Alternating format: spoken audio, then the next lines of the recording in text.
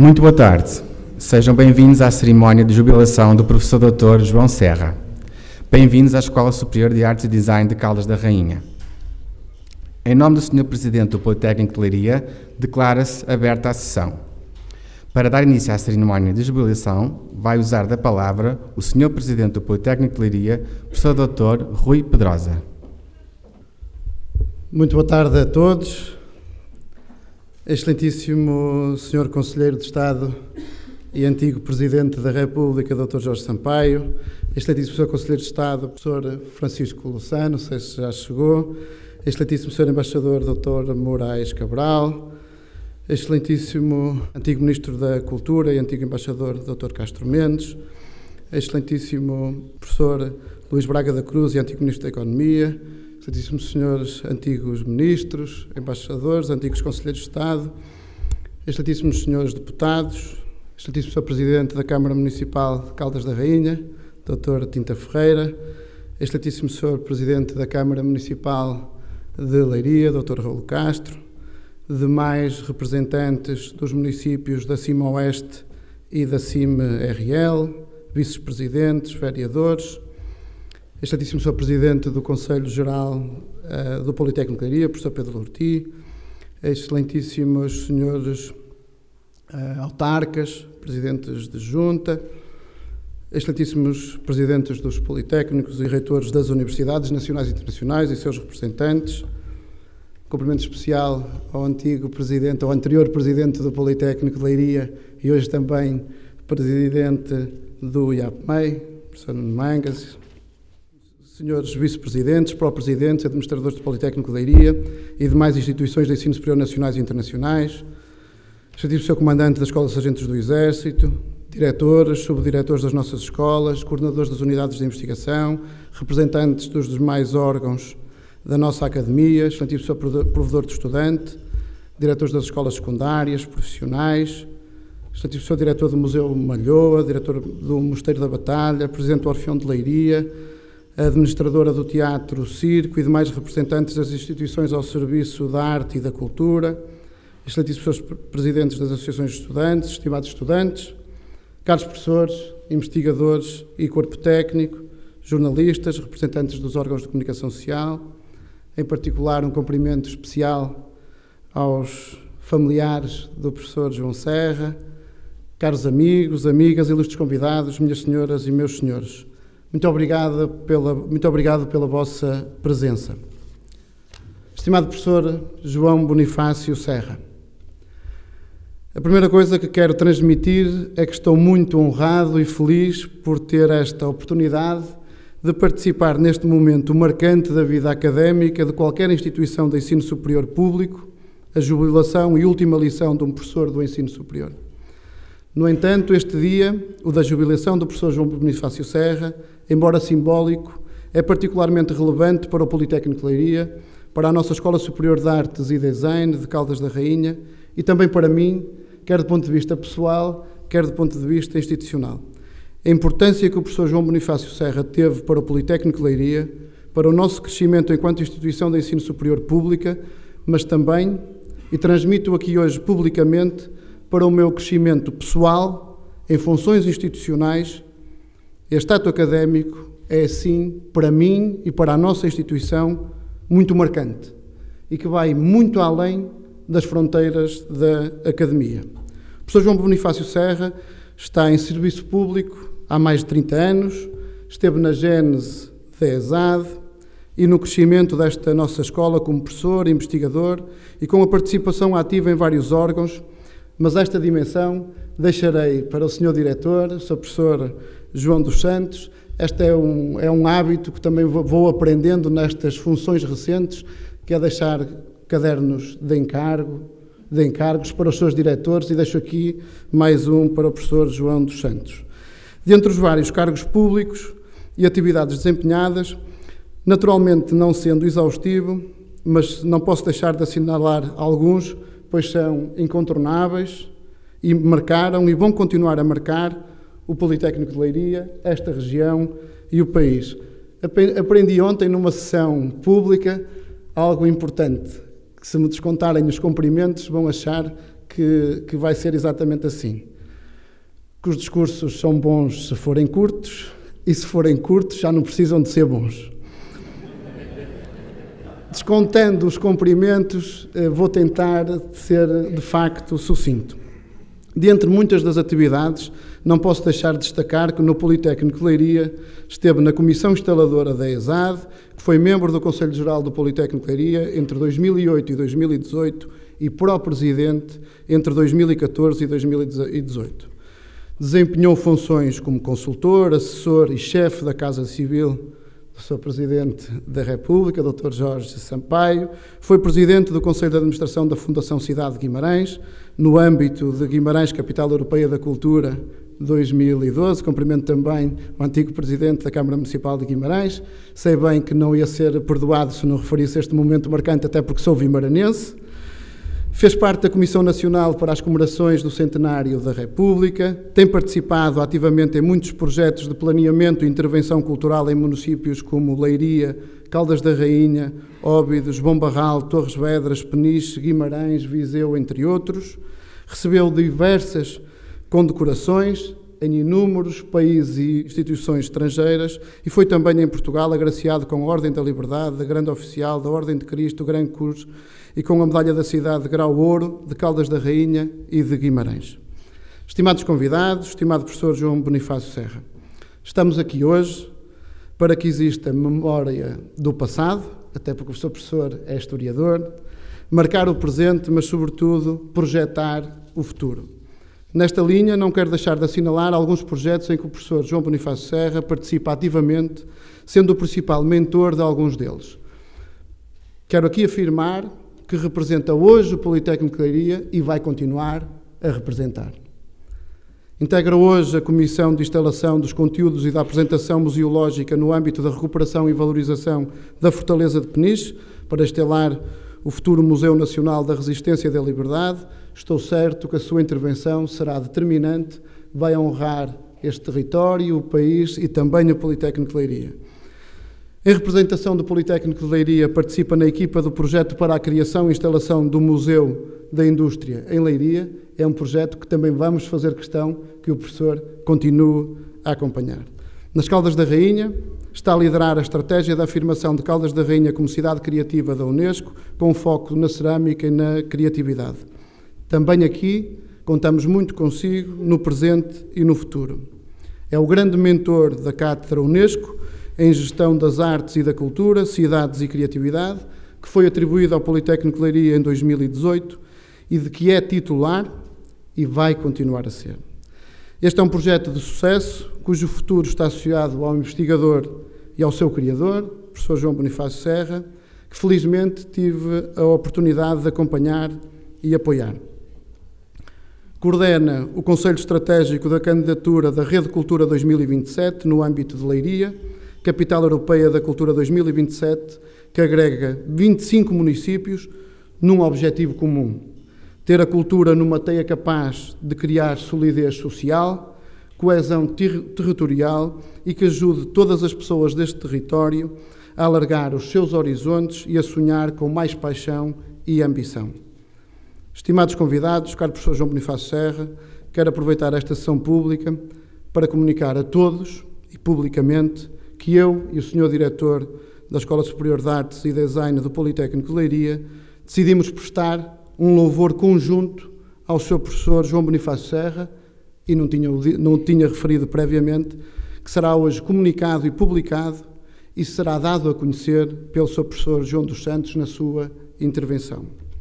Estimados convidados, minhas senhoras e meus senhores, caro senhor antigo Presidente da República, finalmente não quero deixar passar esta oportunidade para deixar um registro mais pessoal, eventualmente quebrando o protocolo, mas dizer que o professor João Bonifácio Serra será sempre um amigo, um conselheiro especial e um senador do conhecimento, pois em cada minuto que estamos juntos conta, em que se aprende em cada minuto que conseguimos conviver e em que eu senti que cresci em todos os momentos que fui partilhando algumas das questões e desafios com o seu professor João Bonifácio Serra. Tive a honra e a felicidade de partilhar gabinete durante o período em que juntos fizemos parte da equipa do professor Nuno Mangas, eu enquanto vice-presidente, o seu professor como pró-presidente, e quando decidi candidatar-me, foram também algumas das conversas que tivemos, alguns aconselhamentos estratégicos e o seu apoio incondicional que se revelou importante e, portanto, hoje aqui também eu quero afirmar e agradecer publicamente esse apoio e o importante que foi nesta minha decisão e neste trajeto. Por tudo isto, termino dizendo que, institucional e pessoalmente, continuaremos a contar com a sua sabedoria e o altruísmo de a partilhar e colocar ao serviço da sociedade. Agradeço uma vez mais a presença de todos, pedindo uma enorme salva de palmas para o professor João Bonifácio Serra. Muito obrigado. De seguida, irá usar da palavra o Sr. Diretor da Escola Superior de Artes e Design de Caldas da Rainha, professor Dr. João Santos. Boa tarde. Uh, vou ser bastante breve e começo pelos cumprimentos. Uh, a maioria deles já foram, este era o meu caderno de encargos para o Presidente, já, já foram dados, portanto, perdoem-me por só referir alguns dos presentes. Dr. Jorge Sampaio, é a segunda vez que nos visita e é com redobrado prazer que lhe damos as boas-vindas e agradecemos a sua presença. Nunca um Presidente da República visitou esta escola duas vezes e só um a visitou uma. Senhor Presidente da Câmara Municipal das Caldas da Rainha, Dr. Tinta Ferreira, agradeço a sua presença neste dia com tanto significado para a nossa escola. É importante tê-lo connosco. Senhor Presidente do Politécnico de Leiria, Dr. Rui Pedrosa, meu Presidente nesta casa, não me vou perder em palavras contigo. Hoje estamos aqui por causa do teu parceiro de gabinete. E se me permites, os teus cumprimentos são os meus cumprimentos. Caros vice-presidentes e pró-presidentes, colegas e diretores e diretoras das outras escolas do Politécnico de Leiria, caros subdiretores João Mateus e Sérgio Gonçalves, estamos presentes porque podemos e porque nos importa. Caros professores, técnicos e administrativos e estudantes, a todos os presentes, sejam bem-vindos à ESAD das Caldas da Rainha. Hoje, Estamos aqui porque há 32 anos a Câmara Municipal criou um grupo de trabalho constituído pelos Dr.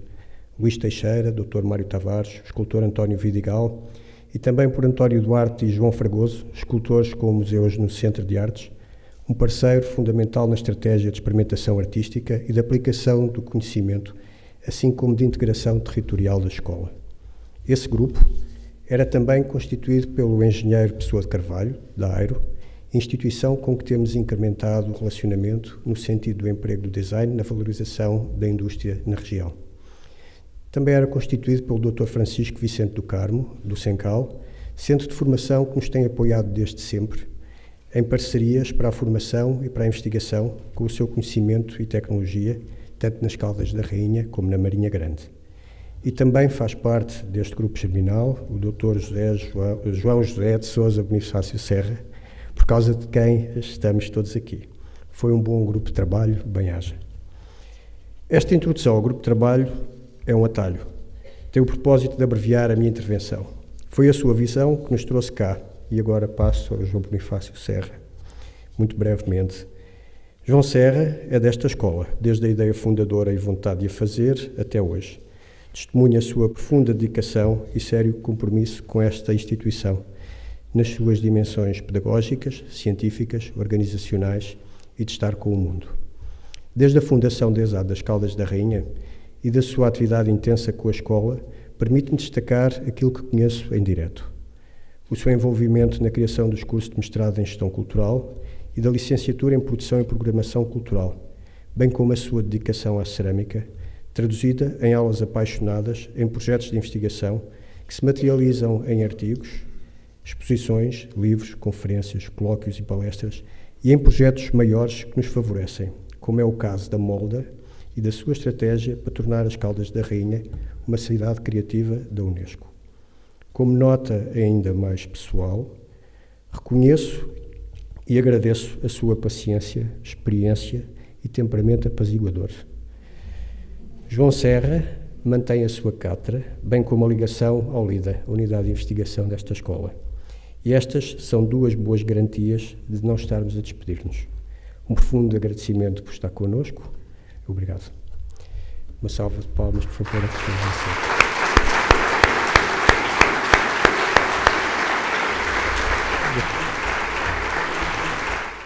E agora, para cumprir o caderno de encargos, cabe-me ler o despacho número 119 de 2019, louvor ao professor coordenador João José de Sousa Bonifácio Serra.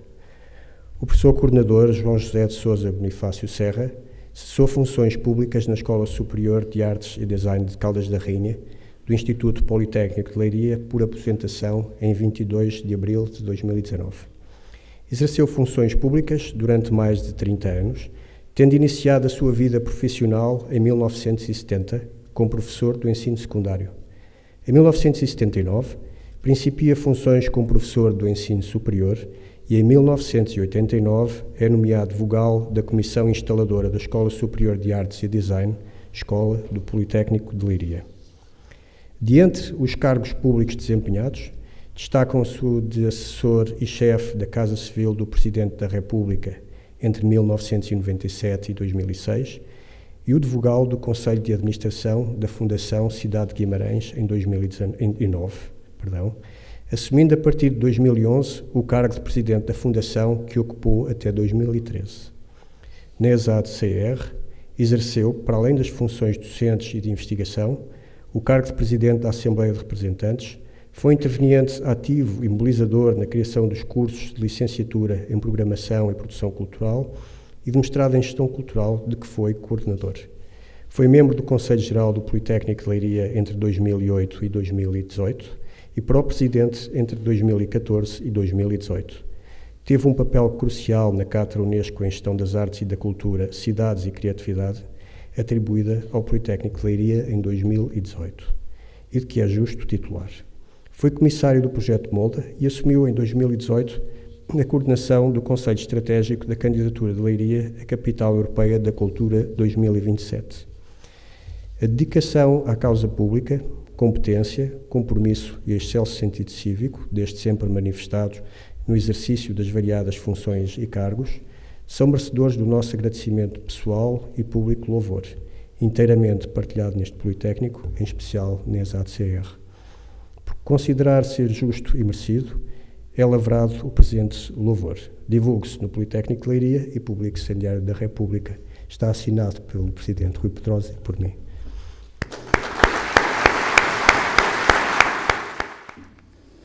Irá usar a palavra o Sr. Conselheiro de Estado e antigo Presidente da República, Dr. Jorge Sampaio.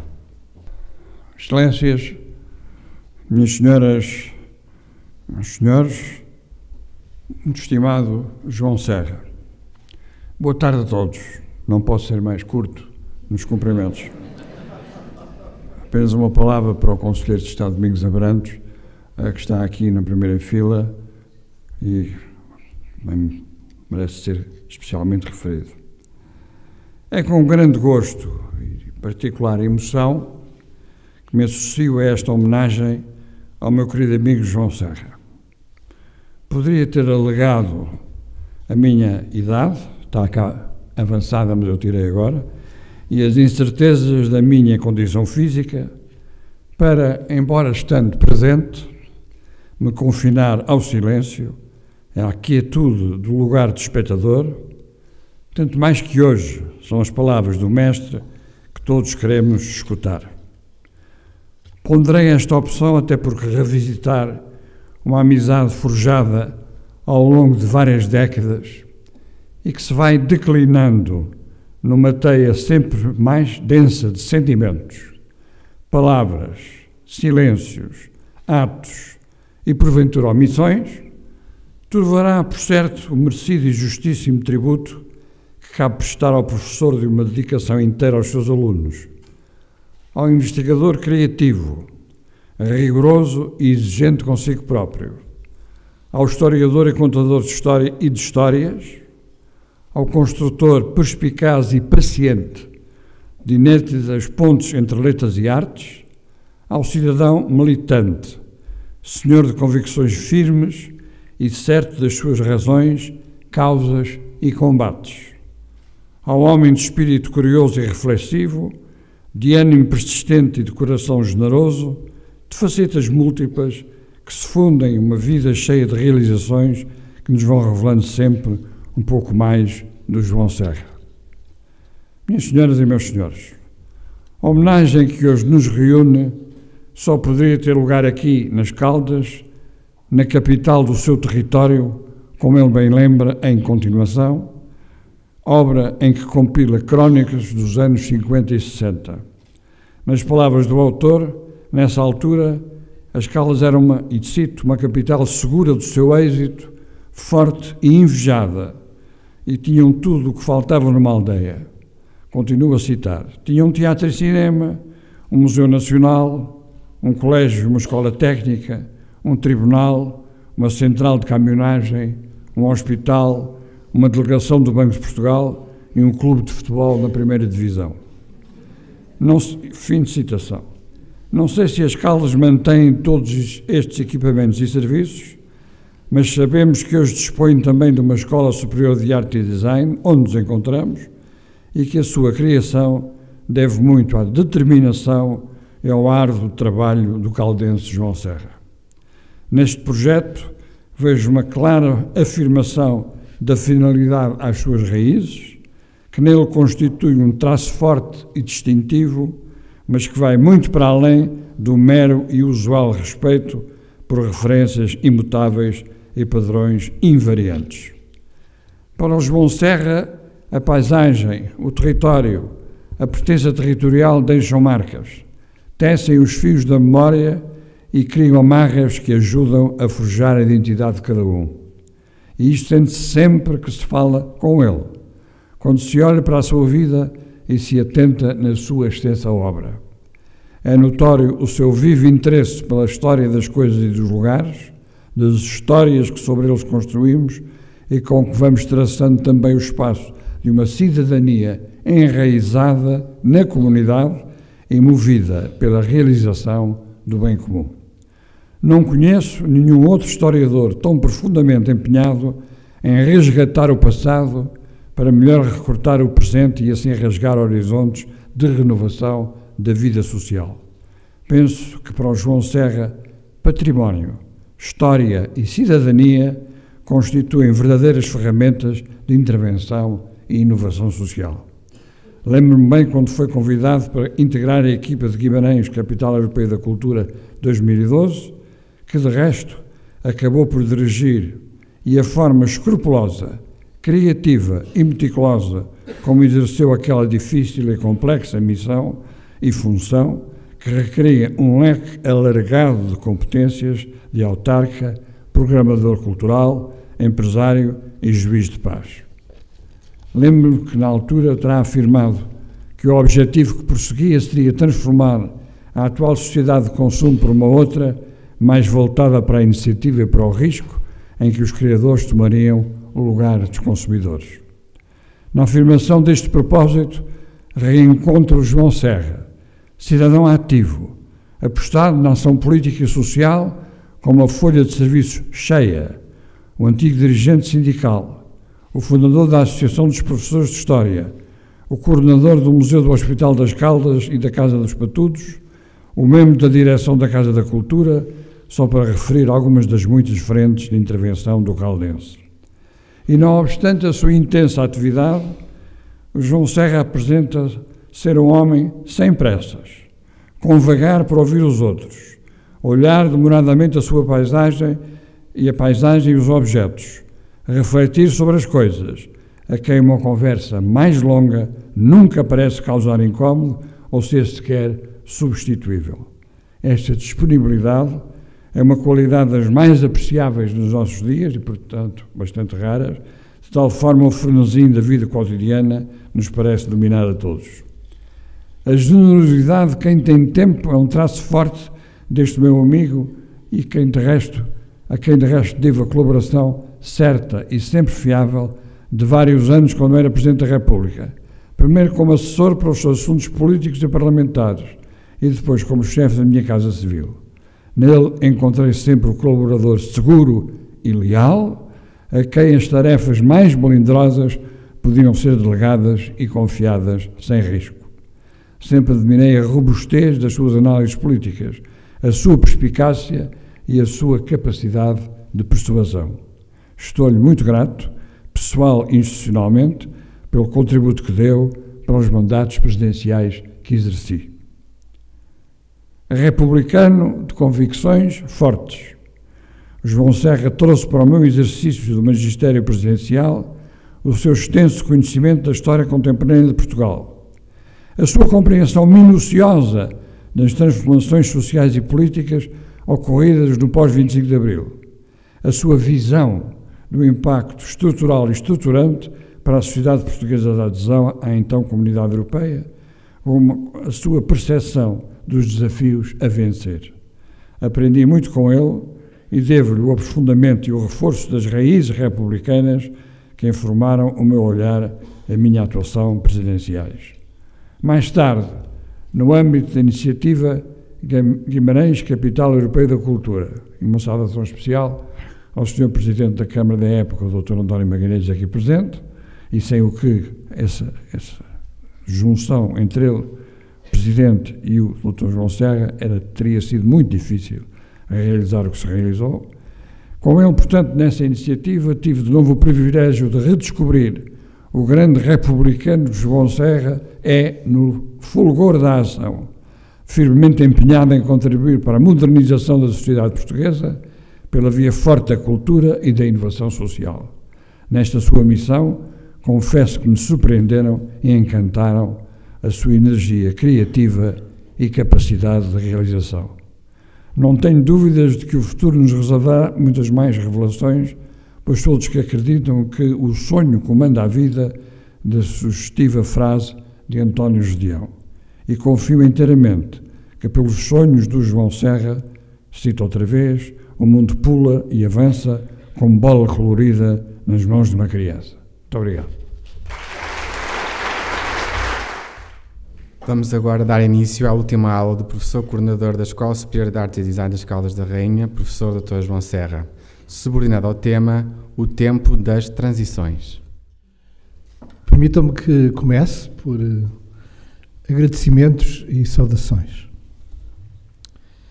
Em primeiro lugar, dirijo-me ao Presidente Jorge Sampaio. Para muitos de nós, ele será sempre o Presidente a quem, a quem agradeço o gesto e as palavras,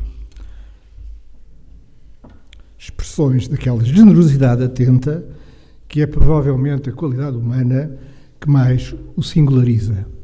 Uma grande figura do Portugal contemporâneo, aberto e solidário, que ajudou a construir. A década em que tive o extraordinário privilégio de trabalhar próximo dele foi um contínuo desafio gerado pela persistência, pelo seu sentido cívico, pela sua coragem moral, pelas suas inteligência crítica e afetiva, pelo seu agudo sentido dos complexos equilíbrios que a política exige, sempre que ela é tomada como serviço e como causa de uma sociedade e nela, em primeiro lugar, dos mais fracos. Inesperadamente, nenhum de nós o podia imaginar, voltei a encontrar o Dr. Jorge Sampaio após essa década de 1996-2006, quando em 2009 assumi funções no projeto Guimarães Capital Europeia da Cultura. Somaram-se então cinco anos de cooperação institucional e de cumplicidade intelectual que permitiram cumprir um projeto cultural muito exigente numa conjuntura muito adversa no plano interno e internacional. De um e outro tempos, a Casa Civil da Presidência da República e a Guimarães 2012 estão nesta sala e muito grato estou pela, pela vossa presença, responsáveis por equipas sob cuja orientação trabalhei, como o embaixador Moraes Cabral, assessor diplomático e chefe da Casa Civil do Presidente, colegas de assessorias, colaboradores do projeto em Guimarães, como a administradora Rosa, Amara, Rosa Amora, o diretor executivo Carlos Martins, de cuja proximidade beneficiei e continuo a beneficiar. O experimentado conselho do professor Luís Braga da Cruz, presidente do Conselho Geral da Universidade do Minho e membro do Conselho Geral da Fundação Cidade de Guimarães, foi igualmente fundamental para poder vencer obstáculos. Obrigado pelo seu apoio e obrigado por estar aqui hoje. Permitam-me que destaque ainda a presença do Dr. António Magalhães, o Presidente da Câmara Vimaranense, que com visão e determinação garantiu o rumo do projeto, sobretudo nos momentos em que se correu o risco sério de sussurrar. Também quero saudar os presidentes e vereadores atuais e passados das câmaras municipais que fizeram questão de vir aqui hoje, Caldas da Rainha, Leiria, Torres Vedras, Peniche, espero não me esquecer de nenhuma, cidades agora unidas em projetos comuns em que estou envolvido em, ou em cujo desenho colaborei. Ao longo de uma vida marcada pela docência e pela investigação, quero registrar a presença de várias gerações de estudantes. E recuaria, talvez, ao tempo do Liceu Padre António Vieira e do Francisco Colasso, que aqui está, eh, onde trabalhei entre 71 e 77, uma época extraordinária das nossas vidas, desde esses tempos até os atuais alunos da ESAD. De muitos antigos alunos recebi nestes dias simpáticas mensagens e a docência é um exercício de revelação permanente e mútua. Um amigo malogrado, Diogo Vasconcelos, que de certo estaria aqui hoje, se pudesse, tinha por lema: Nós somos aquilo que partilhamos. Bem podia ser o lema de um professor. Também agradeço a presença, agradeço muito a presença de companheiros de diversas instâncias académicas e de investigação por onde passei a Faculdade de Letras, o Instituto de Ciências Sociais, o Instituto de História Contemporânea, da Universidade Nova de Lisboa. Obrigado, Augusto Nascimento, que acumula essa dupla condição de antigo aluno e atual colega. Obrigado, José Manuel Sobral, com quem durante tantos anos partilhei um, gabinete, beneficiando uma proverbial disponibilidade para deambular entre as ideias. Obrigado, Pedro, Pedro Tavares de Almeida, o diretor do projeto, a que a partir da manhã me vou dedicar Promessa dada em público, Pedro, a tempo quase inteiro. Singularidade que quero assinalar, saudando de forma muito especial a sua presença, é a surpresa de ter aqui um dos meus professores, exatamente um professor de História, nesse longínquo meu terceiro ano do liceu, salvo em 61, 62. Obrigado, querido professor Luís Boita. É esta cidade onde fiz a minha formação e lancei raízes, dedico as últimas três palavras iniciais. Uma é devido a esta escola, naturalmente, de que muito me orgulho de ter ajudado a projetar e a erguer há 30 anos, pensada e integrada no Instituto Politécnico de Leiria. No dia 9 de março de 2006, quando me despedi em que é luz do Presidente Sampaio à entrada do banquete oferecido pelo novo Presidente, Entrei no meu próprio carro, despi o casaco, tirei a gravata e vim até o edifício 2 da ESAD dar uma aula com o professor Mário Queiro. Esta hum, devo aos presidentes eleitos do Instituto Politécnico de Leiria o acolhimento e a todos os diretores desta escola a liberdade e o apoio que sempre me garantiram e que me permitiram que aqui desenvolvesse nos últimos 15 anos da minha carreira, com a intensidade e a multiplicidade de projetos em que gosto de me ver envolvido. Obrigado, Presidentes Luciano Almeida. Obrigado, Presidente Nuno Mangas. Obrigado, Presidente Rui Pedrosa.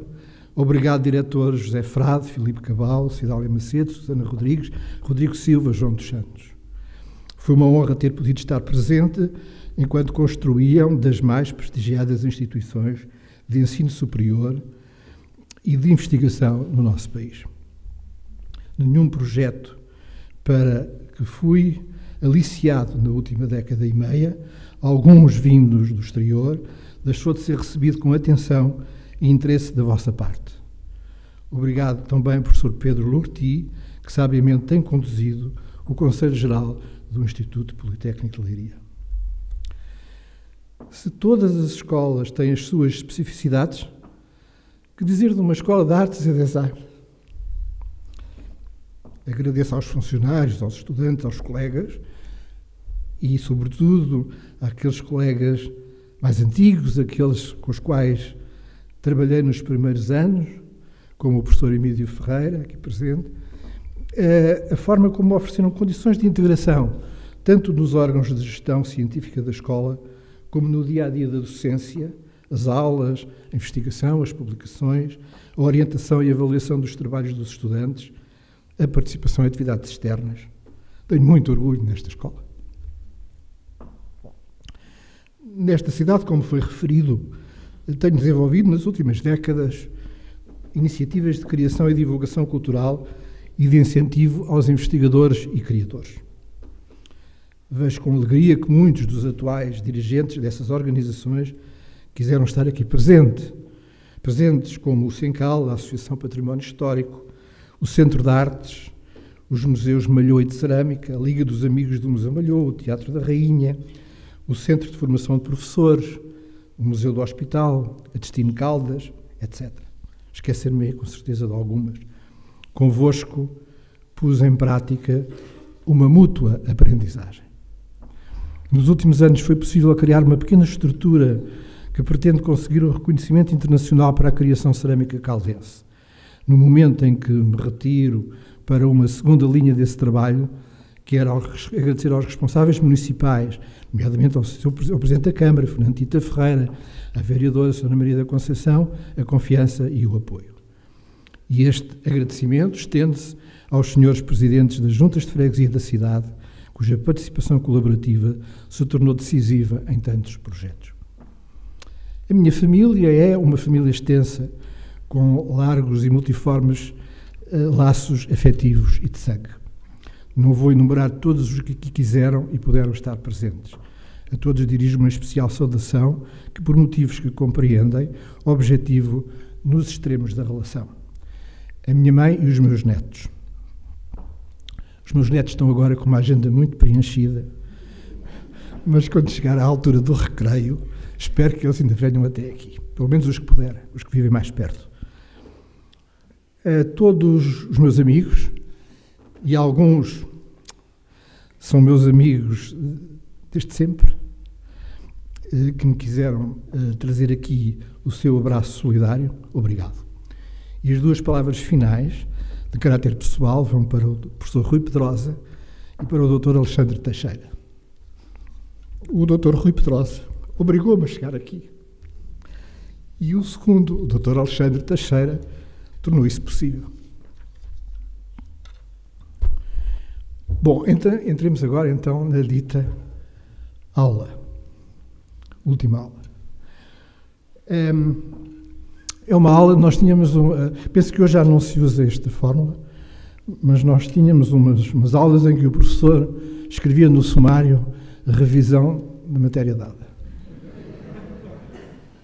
Eu hoje, eu hoje aquilo que eu faço, não vou esperar que com esta idade venha propor uma, uma investigação nova ou uma interpretação completamente nova para a história contemporânea.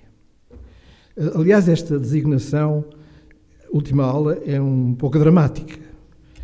Apesar de tudo, é menos pomposo do que a última lição, julgo eu, mas não sei se, se está certo. É inevitável que prescrutemos o tempo transcorrido de que fomos espectadores e atores. Chesneau insistia que há o presente que compete interrogar o passado e que não há história que não obedeça a um questionário impelido pelo presente.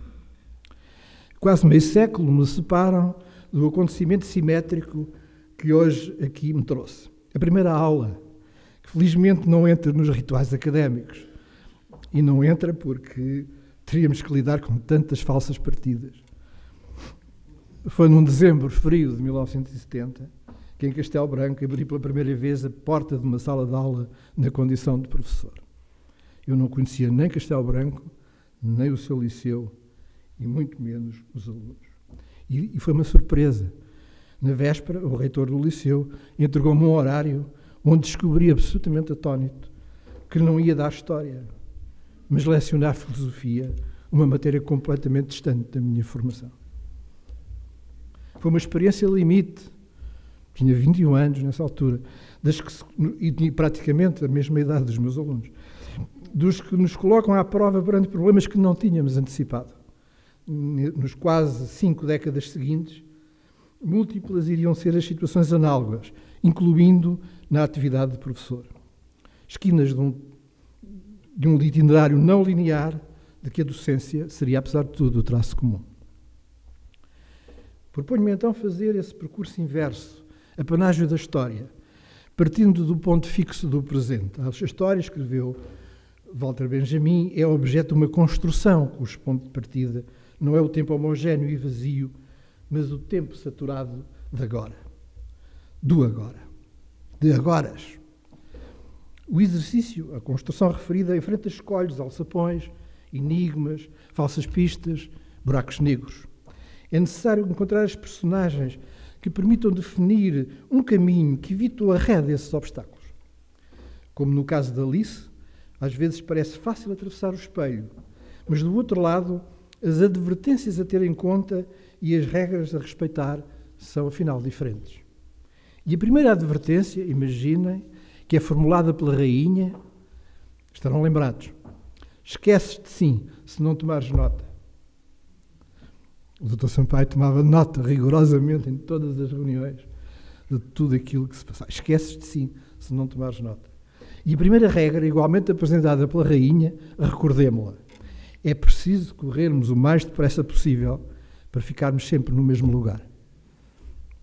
É que do outro lado é preciso correr muito, porque senão perdemos o lugar, perdemos a, perdemos a perspectiva. Na Faculdade de Letras da Universidade de Lisboa, escola a que regressei em 79 para, para lecionar uma cadeira, imagine-se, de História Económica e Social dos séculos XIV ao XVIII, outro inesperado desafio docente, pois eu concorrera para uma vaga em História Institucional e Política dos séculos XIX e XX. A temática que ganhou na preeminência do curso era a da emergência da economia mundo capitalista, segundo Fernand Brodel, ou, na versão marxista de Immanuel Wallerstein, o sistema mundo da acumulação capitalista. A questão teórica que me apaixonou nesses anos, e ouso acreditar que os meus alunos, apesar de tudo, não ficaram indiferentes às problematizações e discussões que introduzi no curso, e o Augusto Nascimento dirá se é verdade ou não, era a da sucessão dos modos de produção. Não diz nada para a parte dos meus alunos de hoje, mas era isso que tratávamos. E dei particular atenção à revisão crítica de formulações mais esquemáticas do materialismo histórico, encetada por autores muito pouco conhecidos em Portugal, na altura, claro, como Perry Anderson. Para este editor da New Left Review, o, o desafio era mobilizar para o campo historiográfico a filosofia e a teoria política e ultrapassar a mútua exclusão da história empírica e do marxismo. Ou seja, propor uma interpretação da transição do mundo antigo para o mundo moderno tendo em conta o imenso dossiê historiográfico acumulado. Anderson, que não é um historiador, note-se, considerava que não existia nenhum motivo para atribuir, na sua reflexão, qualquer privilégio aos historiadores marxistas. Admitia até que a grande maioria dos mais importantes obras de história elaboradas no século XX eram de autores distantes do marxismo. Este reconhecimento não deixava de constituir para mim um aliciante suplementar para a leitura dos seus ensaios. Anderson usou o termo, mas o que é que propósito é que isto vem? Bom, Anderson usou o termo passagens, no título do seu livro, Passagens da Antiguidade para o Feudalismo. Mas na organização da obra, a palavra passagens foi substituída pela palavra transição, transition. Transition refere-se aos acontecimentos que ditavam a quebra da antiguidade clássica e do modo de produção esclavagista e a passagem à Europa ocidental e oriental e ao modo de produção feudal. O que teria estado nesta origem, na origem dessas transições foram, segundo ele, as invasões bárbaras. O feudalismo nasceu, segundo Anderson, da colisão cataclísmica entre as formações sociais romana e germânica e da sua posterior simbiose. Simplificando, um caso ilustrativo do modelo marxista tese, antítese, síntese. E de uma das suas vias, a via catastrófica, alternativa à via cumulativa. A indispensável ponte entre as duas épocas foi a obra, foi obra da Igreja, uma instituição que conferiu dinâmica e amplitude à transição. Foi este o modelo transicional que subjaz aos trabalhos historiográficos que efetuei a partir de 1980, no ISCTE, sob a orientação da professora Miriam Alperno Pereira, na Faculdade de Letras e em seguida no Instituto de Ciências Sociais, onde fui durante uma, uma década investigador de carreira. Aqui pude, enfim, orientar a investigação para a história política contemporânea, que era o objetivo que eu prosseguia sem êxito há vários anos, centrando-me sobretudo em duas áreas que, podiam, podem assim ser designadas. O Estado e a Revolução, um texto de um, o título de um texto famoso de Lenin, que Manuel Lucena, que eu conheci no Instituto de Ciências Sociais, adaptou naquela subtil e ambígua variante, o Estado da Revolução, no quadro do qual realizei diversos estudos sobre a implantação e evolução da República, ou seja, a transição para a República, da monarquia para a República, do século XIX para o século XX. E o segundo tema, a mudança social, um grande projeto em que colaborei com Luís Salgado Matos, no estudo das transformações da sociedade portuguesa depois da Segunda Guerra e até 1974. Duas transições, portanto, da monarquia à República, do Estado Novo corporativo à democracia. O conceito de transição ganhou um novo fôlego com os estudos de Juan Linz. Este cientista político americano, na, observação do seu trajeto intelectual e académico, ou na observação que ele fez Pedro Tavares de Almeida e Carlos Gaspar, teve presente o caso espanhol. De facto, em Espanha, ele tinha, Juan Linz, eh, vínculos de família e até de vida. Tanto no que respeita ao colapso da democracia nos anos 30, em Espanha, como no processo de consolidação democrática após a morte do ditador Francisco Franco, na segunda metade da década de 70. Em 78, Lindsay publica, em colaboração com Alfred Stepan, Stepan a quebra dos regimes democráticos, Breakdown of Democratic Regimes, contendo um conjunto de enunciados que virão a constituir outros tantos temas de investigação e aprofundamento nas três décadas e meia seguintes. Ele morreu em 2013. No prefácio daquela obra, ele já atribuía uma elevada prioridade ao trabalho de análise das condições que conduzem à crise dos regimes autoritários, ao processo de transição dos regimes autoritários aos regimes democráticos especialmente, à dinâmica política da consolidação das democracias pós-autoritárias. O campo de análise de Juan Linz estendeu-se depois a outras transições, além da espanhola, países da América Latina, da África e da Ásia. E também integrou nos seus estudos as transições em países da Europa do Sul, especialmente, e até dos países de leste. A, transição foi então consagrada tanto na ciência política como na história política.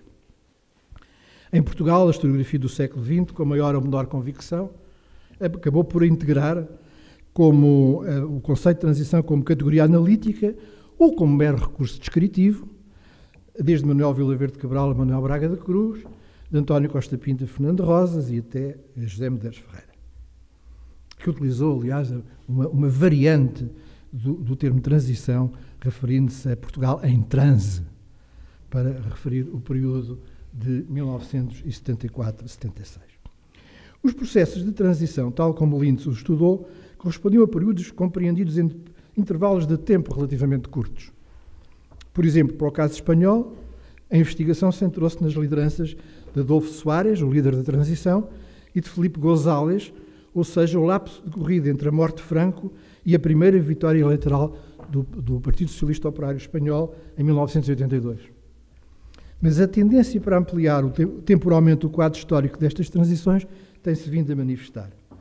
Numa obra recente, de 2017, o professor Santos Juliá publicou uma obra que intitulou eh, Transi Transição História de uma Política Espanhola, 37-2007. 2017, desculpa, 1937-2017. Para Juliá, as, as transições começam, começaram a ser pensadas por atores políticos que acreditavam que a mediação ocorreria ainda sob a sua influência ou jurisdição. Ainda não é passado, diz ele, dizia ele em 2017, ainda estamos a discutir a transição. No volume de História Política Contemporânea dedicado a Portugal, recentemente publicado pela Fundação MAPFRA em 2019, portanto, recente, sob a coordenação de António Costa Pinto e Nuno Gonçalo Monteiro, a transição para a democracia é balizada entre 1960 e 2000, 40 anos. Voltarei mais à frente às questões da transição política. Retenho, por agora, a oportunidade e, e atualidade do título que trouxe para esta última aula, que, como sabem, é Tempo das Transições. E vou agora falar das minhas transições. Nasci em 1949, numa família de pequenos, médios proprietários rurais, numa aldeia a 11 quilómetros das Caldas da Rainha, já referida pelo presidente Jorge Sampaio.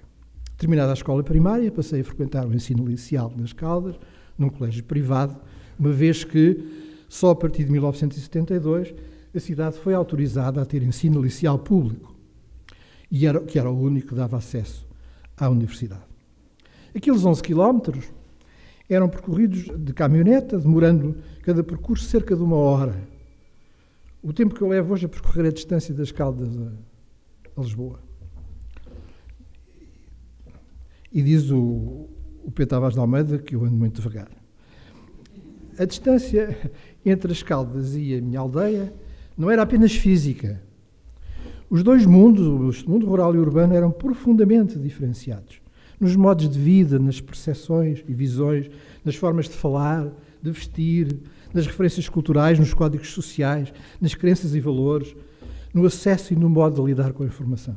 O mundo rural era um mundo pré-industrial, onde o trabalho manual dominava todas as atividades produtivas, agrícolas ou artesanais, a eletricidade estava ausente, em minha casa entrou, teria eu 15 anos, por aí, onde a percentagem de analfabetismo era esmagadora e a sociabilidade limitada e fortemente controlada pela Igreja. Este mundo hierarquizado, conservador e relativamente fechado começou a ruir, ruir autenticamente, a partir de meados da década de 60. O meu pai, que era correspondente do século e colaborador da Gazeta das Caldas, escrevia regularmente, se pudesse, escreveria semanalmente, denunciando o que ele designava por êxito rural, ou seja, a saída de mão de obra até aí abundante e barata, do campo para a cidade. Movimentos de êxodo, de êxodo rural sempre tinham existido, mas esse movimento que o meu pai tinha dificuldade em aceitar era diferente pela amplitude e pela irreversibilidade. O êxodo rural que o meu pai tanto lastimava fazia-se para as cidades e para a França, normalmente precedido do serviço militar obrigatório aos 21 anos o qual, depois de 62, incluía uma passagem de pelo menos dois anos por uma das frentes da guerra colonial. Era um êxodo rural de jovens. Estes jovens rurais nas cidades procuravam emprego na indústria, ocasionalmente em serviços. Alguns iam frequentar escolas, nomeadamente as escolas técnicas, onde faziam formação para a indústria e o comércio. Deslocavam-se motorizadas, rapidamente adotavam modos e vestuário urbanos, perdiam as marcas da, da ruralidade dos seus pais, desvinculando-se do mundo rural onde tinham nascido. A mobilidade geográfica em Portugal atingiu nesses anos verdadeiros recordes, não apenas em, comparando Portugal consigo próprio, mas, sobretudo, comparando com outros países da Europa e do mundo. Sob pressão destas circunstâncias, a agricultura modernizava-se, dizia-se, mas diminuía drasticamente, em pouco tempo, o seu peso na formação da riqueza nacional. Hoje não chega aos 3% do produto interno. Em 60 representava 25% do produto interno. As cidades cresciam e diversificaram os seus modos de vida. As aldeias, esses polos geradores de tantos mitos sobre a ruralidade, desvaneciam-se enquanto tal. Não há equivalente na história a uma mudança destas. Mas não foi só a aldeia que desapareceu, foi a cidade e o sistema urbano que mudaram. As pequenas cidades, as vilas, perderam os elementos caracterizadores que Orlando Ribeiro, num texto de 69, ainda apontava aquilo que ele chamou um proémio metodológico ao estudo das pequenas cidades portuguesas. Mas o êxodo rural não foi homogéneo. A população deslocou-se do interior para o litoral, concentrando-se sobretudo nas faixas litorais de Setúbal a Vieira do Castelo e de Lagos a Vila Real de Santo António, e polarizada por duas grandes áreas de proximidade, Lisboa e Porto. A conjugação destes dois fenómenos, a litoralização e a metropolização urbana, induziu uma urbanização difusa e, em algumas áreas, em especial a norte, aquilo que Álvaro Domingos chamou, crismou e estudou como um urbanismo transgénico. A expansão urbana produziu, pois, uma transformação estrutural do território, introduzindo novas dicotomias em substituição da dicotomia na qual eu tinha nascido a dicotomia cidade-campo, o espaço urbano, o espaço rural. Em 1966, assentei praça, dizia na altura, em Lisboa, na Faculdade de Direito. No plano da economia familiar, essa possibilidade foi gerada pela conversão parcial da produção agrícola do vinho e cereais para a fruta, esta destinada ao mercado colonial. A mudança em termos pessoais não podia ter sido mais radical. Nada me preparava para o embate da grande cidade. Senti que tudo estava em causa. Quando tive a primeira aula na faculdade, no anfiteatro 1 da faculdade, eu estava sentado anónimo entre cerca de 300 alunos. Eu nunca tinha imaginado que uma turma de estudantes pudesse ter 300 alunos. Nas velhas, na velha turma de, de alemão ou de latim do meu colégio éramos sete ou oito, 300 alunos numa sala. No final do primeiro ano concluí em condições muito problemáticas que o curso de Direito era uma má opção, que me perdoem todos aqueles que o fizeram, e decidi mudar para o curso de História na Faculdade de Letras. A faculdade, bom, resolvi eh, também, ao mesmo tempo, tentar encontrar uma, uma, uma, uma solução para o encargo suplementar que isto representou para a família. A Faculdade de Letras de Lisboa enfrentava um boom extraordinário de procura, sobretudo os cursos de Filologia Românica e Filologia Germânica. O Emílio lembrar-se-á, porque somos contemporâneos deste, deste fenómeno. Este, o, o de Filologia Germânica, com os seus dois ramos do alemão e do inglês. Em setembro de 68, o ditador Oliveira Salazar foi substituído por Marcelo Caetano. Nessa altura, eu já era um militante empenhado na vida associativa estudantil e participava ativamente em grupos de reflexão sobre o sentido das transformações da economia e da política. Nesses grupos, o sistema de formalização científica inspirador era o marxismo, evidentemente. Acreditávamos que a luta de classes constituía o motor da história e acreditávamos bem. Queríamos estar do lado certo dessa história e proclamando as bandeiras do movimento operário pela emancipação e igualdade social, mas, sobretudo, estávamos convencidos de que a criatividade nas artes e na cultura não podiam senão andar de mãos dadas com a luta contra o regime autoritário. O ministro Hermano Saraiva, o último ministro da Educação de Salazar e o primeiro de Marcelo Caetano, preparou uma reforma dos cursos de letras que entrou em vigor em 68 e 69, ou seja, no meu segundo ano do curso de História, permitindo conferir, pela aprovação num currículo de três anos, o grau de bacharel, reservando o de licenciado para os que concluísse, concluíssem o currículo de cinco anos. A aplicação dos novos planos de estudos, resultantes basicamente do reescalonamento de cadeiras, teve efeitos incalculáveis e dramáticos, provocando uma situação próxima do caos na Faculdade de Letras. Para diversas cadeiras que passavam a receber alunos de múltiplos anos e até de múltiplos cursos, não havia nem salas de aula, nem professores. Em novembro de 68, uma reunião geral de alunos identificou como principal problema da escola a superlotação, como era evidente. Mas os cadernos reivindicativos remetiam a superlotação cá para o fundo. As, as questões principais eram os pontos, os, os pontos negros da faculdade seriam a pedagogia, a extensão cultural, a biblioteca, o papel dos institutos de investigação, e as propostas eram a gestão partilhada entre professores e estudantes dos calendários escolares, das metodologias de avaliação e, as, as, e novas modalidades de representação dos estudantes. Estávamos a assistir e a participar, este é o segundo transição, num movimento à escala mundial, numa alteração social que consistia no crescimento da escolaridade secundária e superior. Muitos países tinham feito um esforço de cobertura da escolaridade básica, mas o que na segunda metade do século XX teve forja de revolução social foi o aumento da procura de habilitados com a escolaridade secundária e superior e da oferta de formação de nível universitário. Na Alemanha Federal, na Irlanda, por exemplo, o número de estudantes do ensino superior multiplicou por 5 entre 1960 e 1980. Na Finlândia ou na Suécia, por 7. Em Portugal multiplicou por 9 entre 1960 e 2000. O número percentual de estudantes do ensino superior nunca atingira tal patamar desde a invenção das universidades no século XIII. A universidade sempre recrutar os seus estudantes num segmento muito limitado da elite. Agora chegavam ao ensino superior muitos outros grupos sociais, incluindo filhos de pequenos médios proprietários rurais, de uma aldeia quase ignota como o Carvalhal bem feito. Isso significa que um número expressivo de famílias com parcos recursos estava disposto a fazer um sacrifício extraordinário, o sacrifício das suas vidas, para colocar os seus filhos a estudar, porque acreditavam que essa era a melhor forma de garantir uma ascensão social, pelo menos à geração seguinte. E que, portanto, podiam ultrapassar uh, o encerramento em que a ascensão social estava eh, maniatada para promoverem, pelo menos no espaço de uma geração, um salto na ascensão social.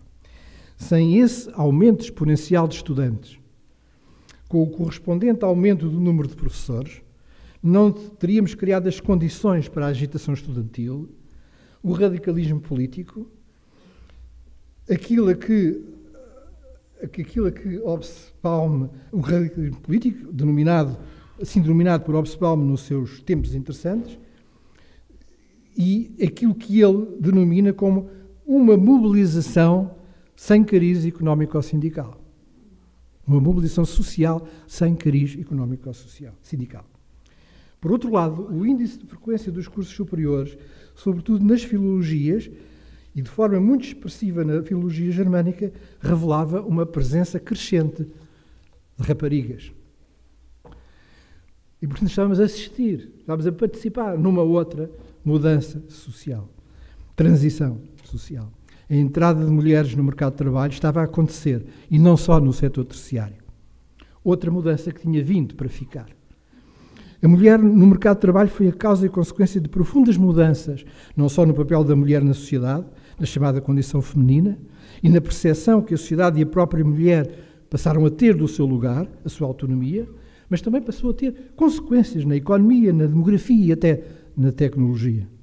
Desencadeou, ou pelo menos acelerou, o fim da família extensa e, sobretudo, alterou a relação entre homem e mulher e a relação entre pais e filhos. Um dos temas que motivava a reflexão nos grupos de análise e de estudos a que me referi atrás era a da condição estudantil. Em termos marxistas, era necessário que tal caracterização justificasse o alinhamento de pessoas originárias dos estratos burgueses da sociedade com os objetivos estratégicos da classe operária da sociedade sem classes. Este condicionamento ideológico da análise não nos permitiu logo perceber distintamente um outro plano da mudança, a emergência de uma cultura juvenil, autónoma e internacionalizada. Nos anos 80, quando já era evidente que essa cultura viera para ficar, na moda, na música, nos comportamentos, na produção em massa de produtos para consumo de jovens e no modelo do jovem proposta à hegemonia da cultura de massas, Ainda discutíamos no Instituto de Ciências Sociais, dirigido pelo professor Adélio Cedas Nunes, se a condição de jovem era uma categoria social operacional. É pelo menos uma categoria cultural ou sociocultural. A cultura juvenil, moldada pela cultura americana e anglo-saxónica, tinha reflexos à nossa volta, nos jeans, no rock, na generalização do inglês, na curiosidade pelo amor livre. Em Lisboa surgiram lojas de roupa alternativas para jovem, os perfilhos surgiram em 1965, as revistas estrangeiras promoviam o fenómeno Twiggy, nascido no mesmo ano que eu, em 49, Twiggy, vejam lá, que foi eleita a mulher, a mulher britânica do ano em 1966, aos 17 anos. Como é que é possível?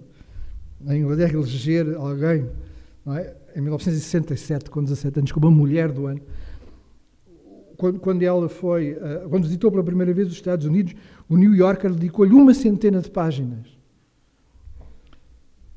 Lembro a Rádio Universidade, de Adelino Gomes e Laureano Santos, o Em Órbita, iniciado em 65, um programa do Rádio Clube Português. A televisão também estava lá para fazer eco, promover essa mudança. Um dos programas mais populares e ilustrativos da emergência de uma cultura juvenil de massas foi o Zip Zip, gravada ao vivo no Teatro Vilaré em 1969, com uma plateia entusiástica de jovens lisboetas. O José Nuno Martins, meu colega na Faculdade de Letras, era um dos colaboradores do programa.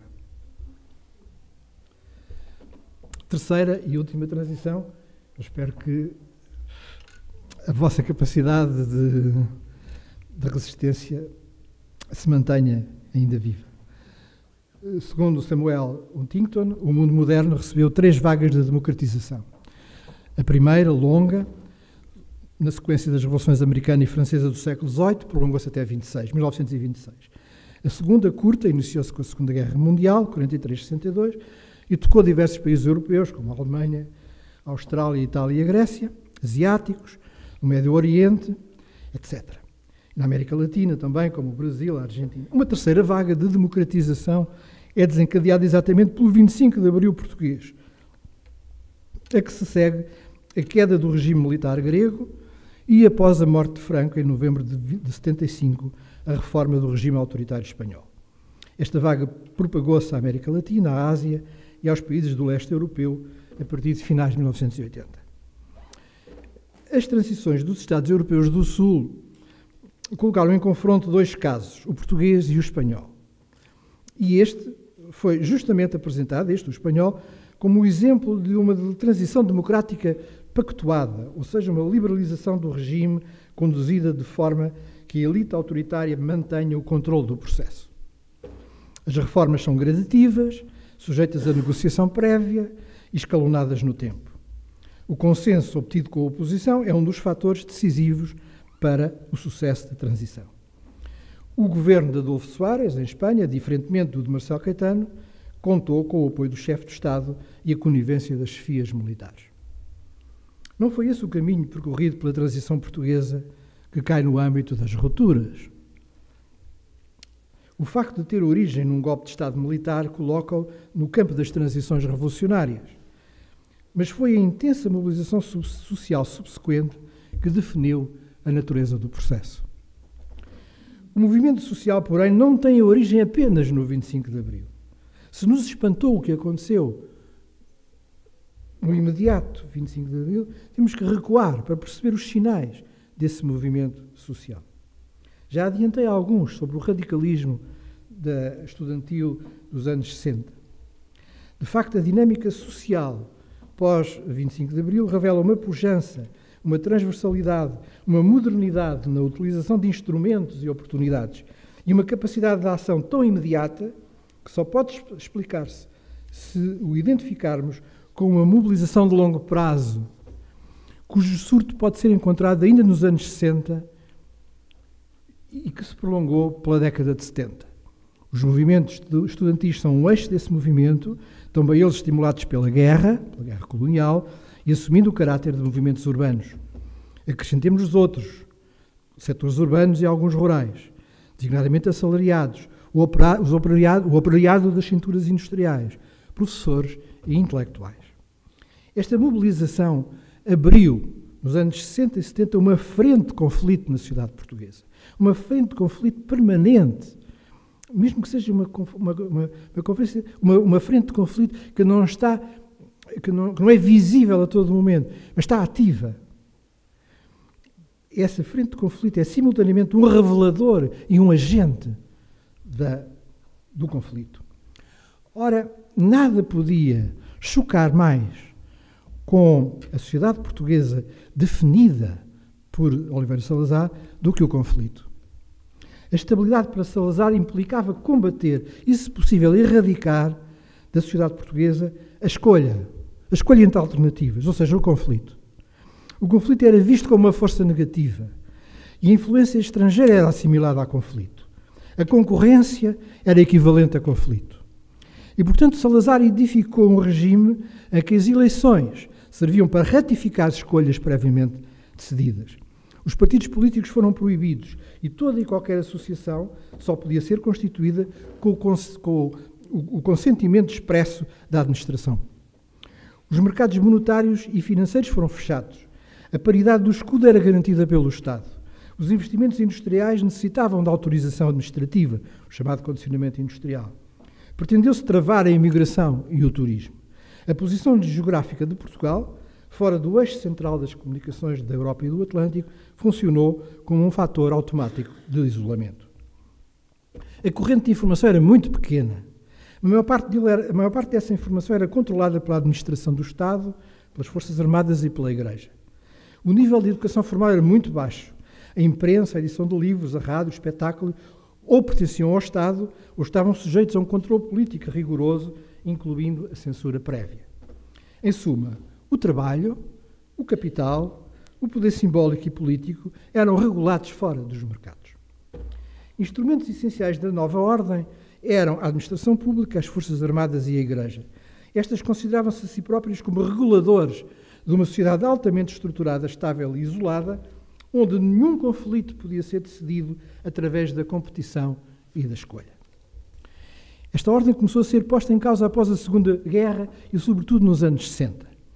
Os fatores de mudança prendem-se, se a minha hipótese de trabalho estiver certa, prendem-se com o aumento da informação e da concorrência. Sempre que aumentamos a informação e a concorrência, aumentamos o conflito, desequilibramos o sistema.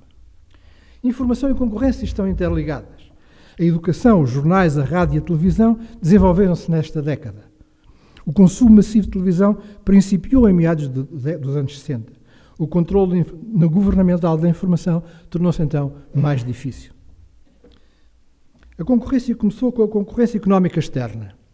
A concorrência chegou primeiro através do comércio externo, com a subida das importações já nos anos 50.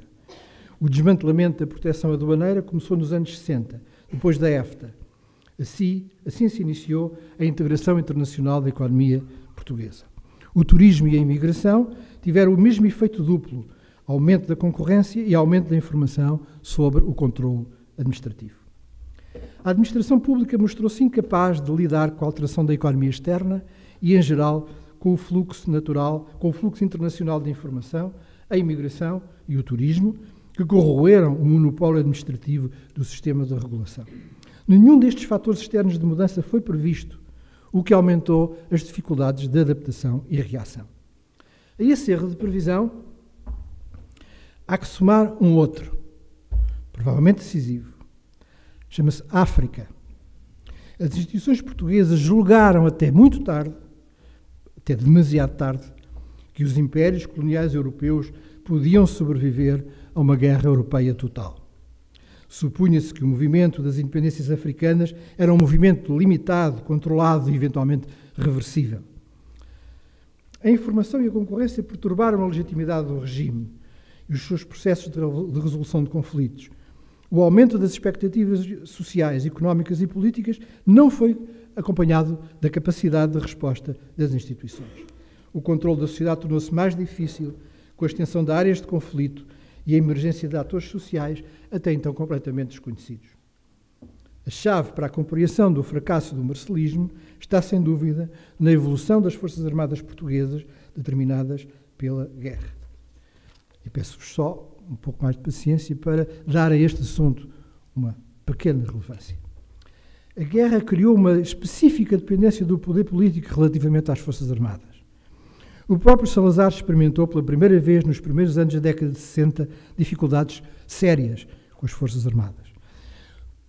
O oficial da Guerra da África desempenha tarefas imensas e com grande autonomia. Está sozinho numa vasta área, subdesenvolvida e subadministrada, com uma população esparsa. Por vezes exerce um poder civil. A guerra antiguerrilha, do ponto de vista organizativo, sem diminuir o poder dos generais, atribuiu um papel relevante aos capitães, que comandam unidades operacionais. A guerra africana fez crescer os escalões intermédios e tornou menos atraentes as expectativas de promoção militar. Tornaram-se frequentes as comissões no ultramar, como se dizia, e os estudantes universitários tornaram-se uma das componentes crescentes do corpo de oficiais. Entretanto, a posição social dos militares, paralelamente com o que sucedia no funcionalismo público, deteriorou-se. A evolução das Forças Armadas foi condicionada por todos estes fatores, acrescido naturalmente daquilo que se chama o stress de guerra. E foram estes fatores que, levaram, que os levaram a agir em 74. Estas notas introduzem o programa comum que presidiu à transição e foi, e foi enunciado pelo movimento das Forças Armadas. A transição política para o movimento das Forças Armadas significava democratizar, desenvolver e descolonizar. A transição democrática, no caso português, implicava o fim do Império, e era o único caso conhecido, o fim do Império, a modernização da sociedade e da economia e a implantação de um regime democrático constitucional. Cada um destes itens, sobre cada um destes itens, houve conflito, houve confronto ativo e um processo decisional complexo nos anos seguintes a 74. Uh, houve quem, João Martins Pereira, classificasse esse clima, qualificasse esse clima de pré-revolucionário. A transição pode considerar-se terminada em 1986, ou seja, em 1986, com adesão de Portugal à Comunidade Económica Europeia e a eleição de Mário Soares para a presidência da República, precedida de uma revisão constitucional em 82, digamos, fechou um ciclo de transição dentro de uma determinada, de uma determinada linha, de uma determinada forma de uh, ver Portugal. Esta Segunda República adotou um figurino de democracia liberal, segundo o modelo das chamadas democracias pluralistas ocidentais, promoveu como grande desígnio a integração europeia e manteve a posição na NATO, na Aliança Atlântica.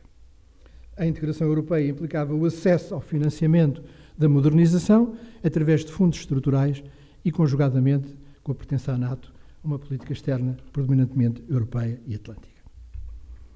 Estou, digamos, a terminar. Não vou falar da transição seguinte, mas queria deixar três ou quatro notas sobre isto. A necessidade de recorrer à ajuda internacional de emergência em 2011 foi um revelador de crise que atingiu o modelo anterior. A crise é agora, temos consciência disso, nacional e internacional, designadamente europeia. Não me vou deter na análise dos sinais dessa crise, que assenta na constatação de que a economia portuguesa não parece capaz de assegurar uma sustentabilidade duradoura e está muito exposta às flutuações económicas e financeiras externas. A crise, é certo, não afetou gravemente o funcionamento da democracia, pois manteve em aberto a alternância entre as principais forças políticas e a representação eleitoral dos restantes partidos, embora tivesse determinado mudanças na configuração do centro político. Mas por toda a Europa, essas mudanças têm posto em causa e, em alguns casos, erudido o sistema pluripartidário que tinha assegurado o funcionamento do sistema político anterior. Há problemas que se arrastam na Europa sem qualquer fim à vista. Para além dos problemas da moeda única, há ameaças que geram insegurança, fraturam a sociedade, aumentam as desigualdades, isolam os grupos, multiplicam a incomunicação. Ninguém arrisca uma visão otimista do futuro da Europa.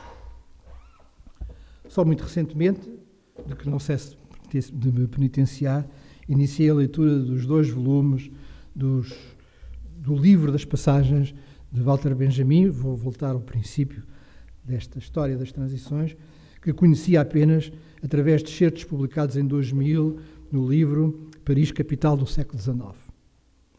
Trata-se de uma obra fundamental, constituída por textos e notas, através das quais nos confrontamos com uma reflexão original e poderosa sobre as categorias suscetíveis de induzir uma interpretação não apenas da cidade de Paris, mas através dela da construção da modernidade. A fotografia, as exposições universais, a construção em ferro, o colecionismo, a vida privada, a moda, o tédio, o espelho, o jogo, a passagem. Aqui está, a passagem. Era aqui que eu queria chegar. Antes de ser convertida em metáfora, as passagens parisienses era um dispositivo urbanístico sui generis, criado entre 1822 e 1837, constituído por galerias em ferro e vidro que ligavam quarteirões com funções inicialmente comerciais. Charles Fourier adotou as passagens ao quadro de uma utopia comunitarista. As passagens permitiram a Benjamin calcorrear a cidade, incorporando-as na sua investigação como travessias físicas e poéticas, intelectuais e topográficas. As passagens encurtam o caminho entre quarteirões e avenidas distantes e repõem alguma unidade na distância e na fragmentação do tecido urbano. Na obra de Benjamin, as passagens fornecem ensejos para refletir sobre a arquitetura e a estética, sobre o progresso e a história, sobre política e revolução, sobre o sonho e a liberdade e sobre a liberdade do sonho. A passagem permite circular no espaço e no tempo.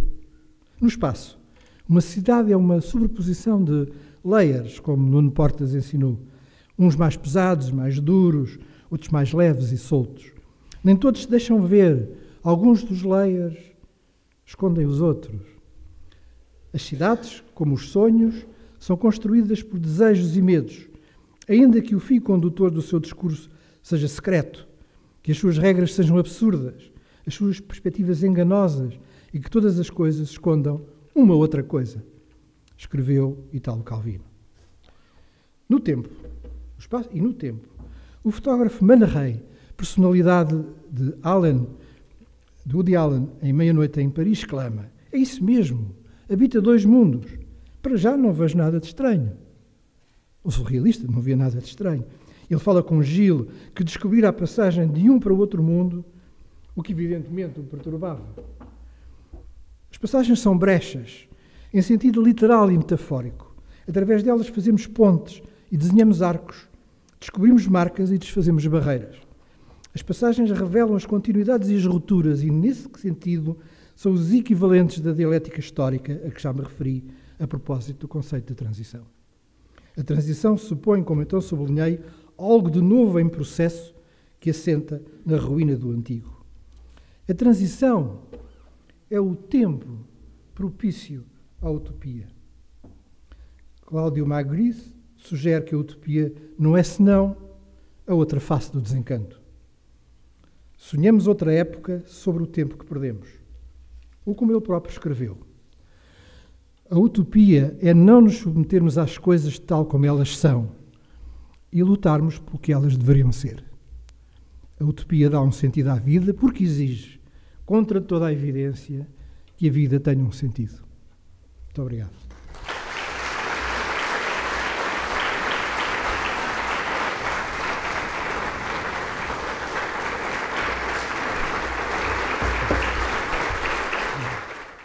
Iremos de seguida proceder ao momento de entrega da oferta ao professor João Serra. Basicamente, acho que me ouvem, uh, isto não é porque o professor merece, é porque está em regulamento. Há um regulamento que diz que é um presente. Portanto, queria entregar ao professor esta, esta primeira parte exemplo, estava a isso, está aqui uma segunda parte, mas há uma terceira.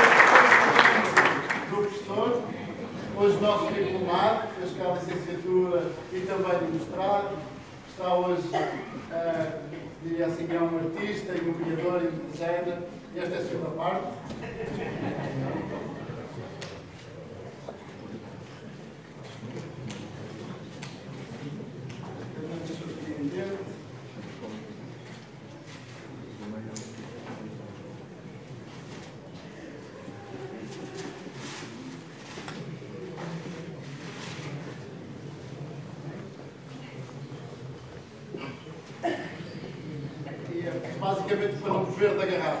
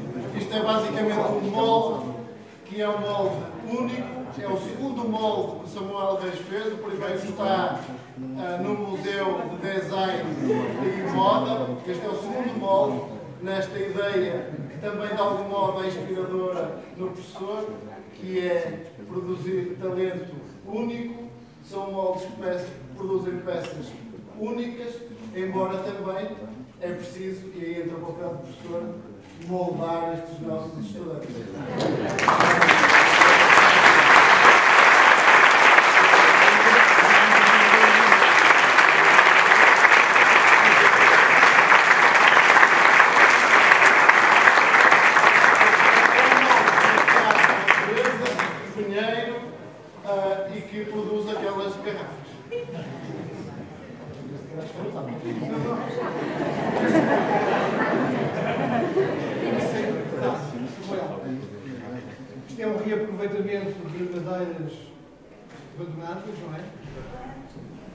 Samuel queima no interior, isto que ele simplesmente entra a vida.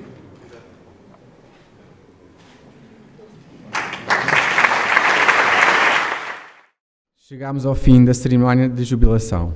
Em nome do Sr. Presidente do Politécnico de Leiria, convidam-se todos os presentes para o porto de honra que será servido no átrio deste edifício.